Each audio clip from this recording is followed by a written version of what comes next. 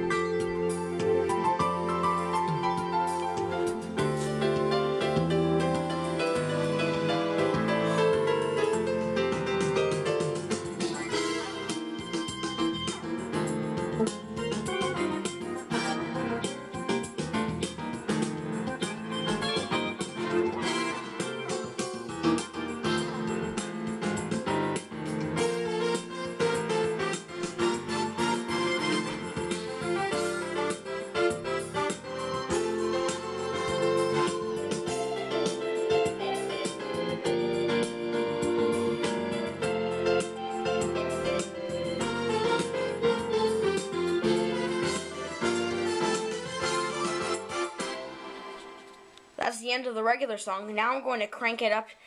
Right now it is tempo 101. And now I'm going to crank it up to tempo 280. Ready? This is going to be the fastest song in the world.